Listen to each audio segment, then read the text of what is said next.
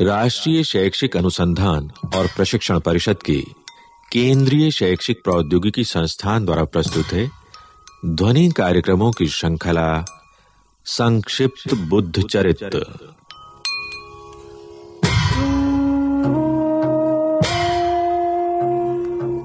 श्रृंखला के पिछले भागों में आपने सुना कि कपिल वस्तु के राजा शुद्धोदन के यहाँ एक दिव्य बालक ने जन्म लिया। जिसका नाम रखा गया सिद्धार्थ। ज्योतिषियों ने कहा कि बड़ा होकर यह बालक गृह त्याग करके वन में जा सकता है। और ऐसा हुआ भी। युवा होने पर सिद्धार्थ एक दिन गृह त्याग करके वन में चले जाते हैं। अब सुनिए इससे आगे की कहानी। इस भाग का शीर्षक है, छंदक की वापसी।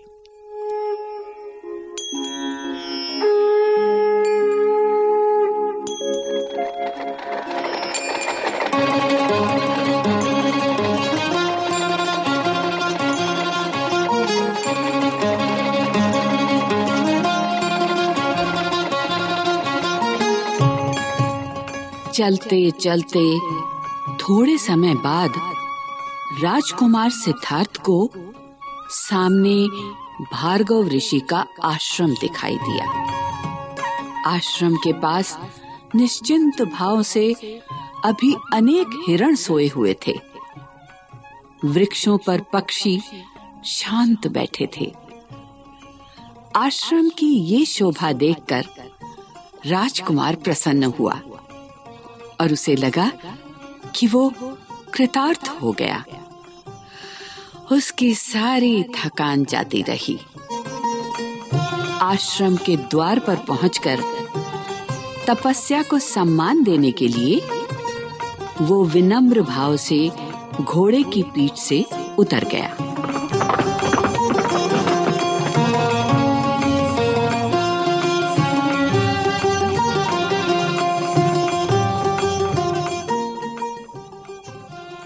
घोड़े से उतरकर राजकुमार ने पहले अपने घोड़े को सहलाया। उसे पुचकारा और कहा हे वत्स तुमने मुझे पार उतार दिया है। फिर स्निग्ध दृष्टि से छंदक को निहारते हुए कहा हे सौम्य गरुड़ के समान द्रुत गति से चलने वाले इस घोड़े के साथ साथ दौड़कर तुमने जो मुझमें भक्ति दिखाई है, उसने मेरा मन जीत लिया है। मैं तुमसे पूरी तरह संतुष्ट हूँ, क्योंकि तुम्हारे मन में इसके लिए किसी फल की कामना नहीं है। मैं और क्या कहूँ? तुमने मेरा प्रिय कार्य किया है। अब तुम घोड़े को लेकर लौट जाओ। मुझे मेरा गंतव्य मिल गया है।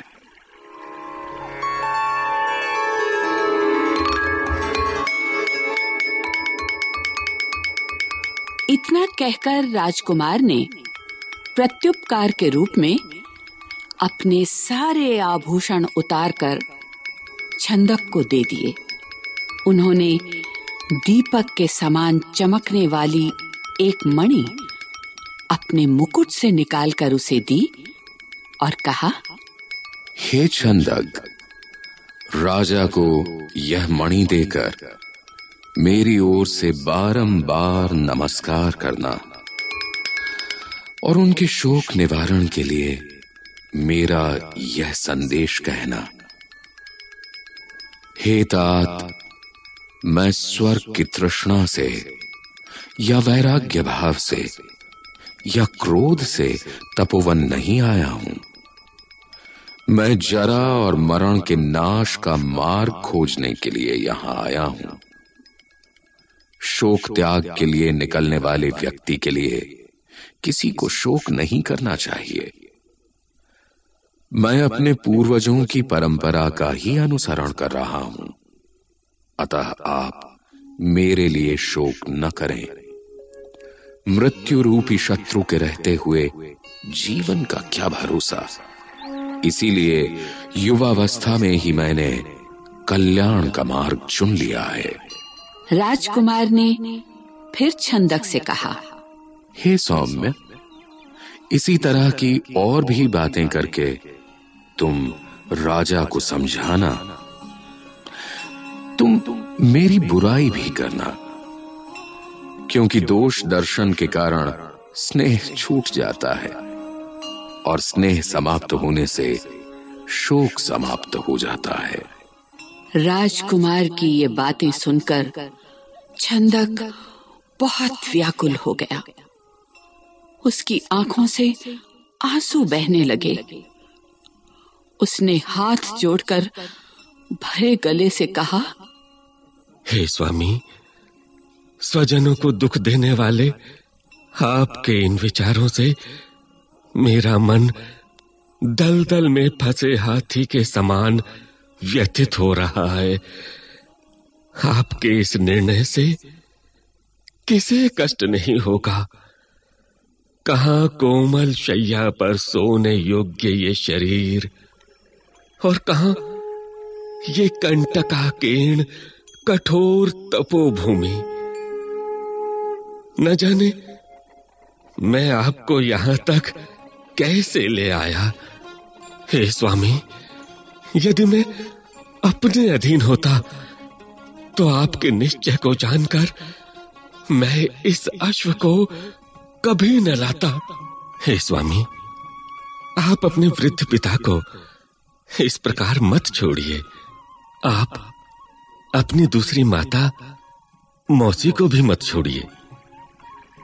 देवी यशोधरा का त्याग मत कीजिए।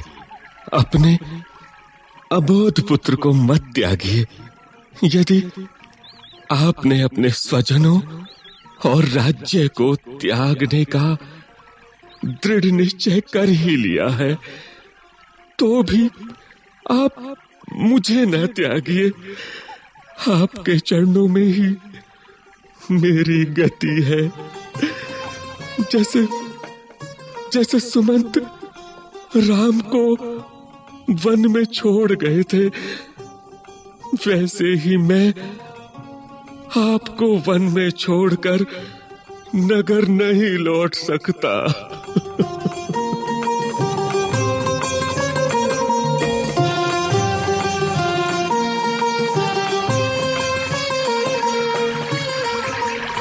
उसने आगे कहा हे तात, आपके बिना यदि मैं नगर लौट जाऊँगा तो महाराज मुझसे क्या कहेंगे?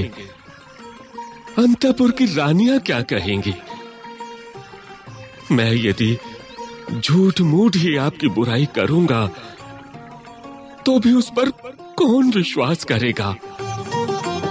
इसलिए, हे दयालु, आप करुणा कर मुझ पर प्रसन्न हो और घर लौट चले। छंदक की इन बातों को सुनकर कुमार ने बड़े धैर्य और शांति के साथ उसे पुनः समझाया और कहा छंदक स्नेह के कारण चाहे हम स्वयं स्वजनों को न छोड़ें फिर भी वे एक ना एक दिन मृत्यु के कारण छूट ही जाते हैं। जिस माँ ने मुझे कष्टपूर्वक गर्भ में धारण किया, वह माँ अब कहाँ है और मैं कहाँ हूँ? जैसे रात को पक्षी एक वृक्ष पर एकत्र होते हैं और प्रातःकाल फिर अलग हो जाते हैं, उसी तरह सब लोग मिलते हैं और फिर विलग हो जाते हैं। इसलिए तुम संताप छोड़ो और नगर लौट जाओ। यदि तुम्हारा मन न माने तो फिर तुम मेरे पास चले आना। अभी तो तुम कपिल वस्तु लौट जाओ और मेरी प्रतीक्षा कर रहे लोगों को समझाओ। तुम उनसे कहना कि मेरे प्रति मोह को त्याग दें। मैं जन्म मृत्यु का रहस्य जानकर अवश्य ही कपिल वस्तु लौटूँगा। और यदि मुझे लक्ष्य प्राप्त नहीं हुआ तो मैं जीवित नहीं रहूँगा। राजकुमार सिद्धार्थ के वचनों को सुनकर कंथक अश्व की आँखों से भी आँसू बहने लगे और वो जीप से अपने स्वामी के चरणों को चाटने लगा। राजकुमार ने भी उसे सहलाते हुए कहा हे कंथक, रो मत। तुमने आज अच्छा कार्य किया है। उसका सुफल तुम्हें अवश्य मिलेगा। ऐसा कहकर राजकुमार ने छंदक के हाथ से स्वर्ण जड़ित कृपाण ले ली। उससे अपने केश काटे और मुकुट फेंक दिया। राजकुमार ने अपने सारे अलंकारों का त्याग किया और स्वर्णिम वस्त्रों को त्याग कर वन वस्त्र धारण करने की इच्छा की। तभी एक शिकारी प्रकट हो गया, जो काशाय वस्त्र धारण किए हुए था। सिद्धार्थ ने उस शिकारी से कहा, हे सौम्य, इस हिंसक धनुष के साथ ऋषियों के काशाय वस्त्र आपको शोभा नहीं देते। यदि आपको इन वस्त्रों से मोह न हो तो आप मेरे शुभ वस्त्रों को ले लें और अपने ये काशाय वस्त्र मुझे दे दें। सिद्धार्थ की बातें सुनकर शिकारी ने कहा यदि आपको मेरे काशाय वस्त्र अच्छे लगते हैं तो ले लीजिए। और मुझे अपने वस्त्र दे दीजिए। दोनों ने परस्पर वस्त्र बदले। इसके बाद शिकारी चला गया। ये सब देखकर छंदक आश्चर्यचकित रह गया। छंदक ने काशाय वस्त्रधारी राजकुमार को विधिवत प्रणाम किया। काशायधारी सिद्धार्थ ने उसे प्रेम पूर्वक विदा किया और स्वयं अकेला आश्रम की ओर चल पड़ा।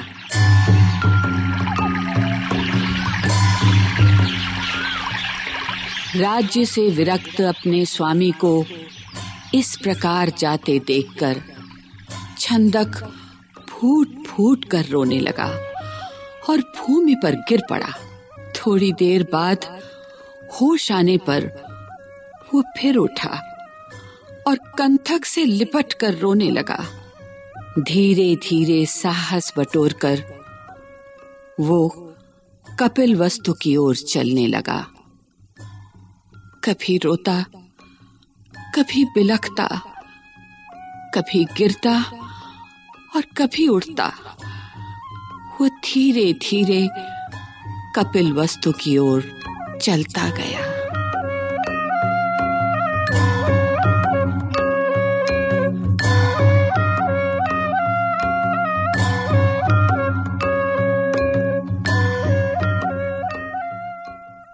संक्षिप्त बुद्ध चरित्र